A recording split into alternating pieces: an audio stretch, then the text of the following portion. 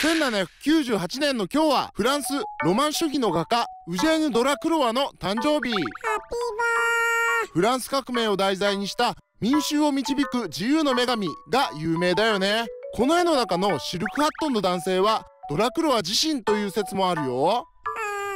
ー。自由を手に入れるぞ。自由を手に入れたら自分で歩くの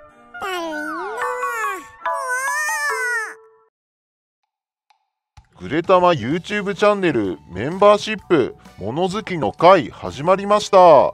グレタマの部屋をリニューアルして24時間配信中。チルってる音楽とともにいろんなグレタマを見れちゃいます。チャット欄とか覗きに行くかもしんないし行かないかもしんないんだわ。ってどっちなのさ。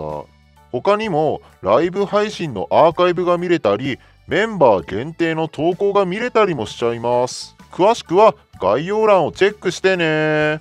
物好きだね